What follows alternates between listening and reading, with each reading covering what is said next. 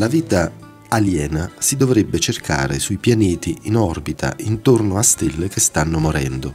Questo è quello che sostiene un team di astrofisici del centro americano Harvard che sta per pubblicare uno studio in questo senso sul Royal Astronomical Society.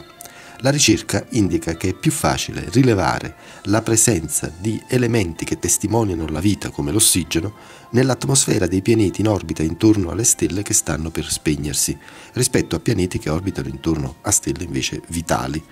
Nella ricerca di queste firme biologiche, potremmo chiamarle, le prime stelle che dovremo studiare sono le nane bianche. Quando una stella come il Sole, ad esempio, muore, soffia via i suoi strati più esterni lasciando dietro di sé un nucleo caldo chiamato appunto nana bianca. Questi oggetti hanno le dimensioni del nostro pianeta, si raffreddano lentamente, ma possono trattenere il calore in maniera sufficiente per riscaldare un pianeta vicino per miliardi di anni. Rilevare indizi della vita su eventuali pianeti in orbita intorno a queste stelle sarebbe più facile per le dimensioni della nana bianca. In pratica, le atmosfere di esopianeti si analizzano quando transitano contro il disco della loro stella, eclissandola parzialmente. In questa fase di eclissi, l'atmosfera del pianeta assorbe un po' di luce dell'astro e dal modo in cui assorbe la radiazione è possibile risalire alla sua composizione.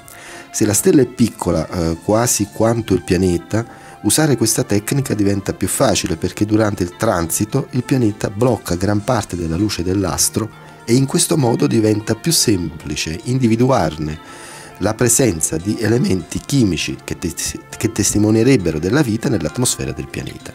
Gli astronomi sono particolarmente interessati a trovare l'ossigeno perché è un sintomo della vita così come noi la conosciamo in quanto sulla Terra questo gas è prodotto dalle piante attraverso la fotosintesi.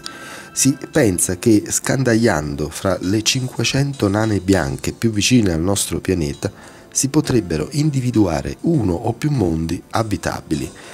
Prima che una stella diventi una nana bianca si gonfia in gigante rossa travolgendo e distruggendo eventuali pianeti vicino. Questo è il destino del nostro pianeta fra 4 miliardi di anni e mezzo.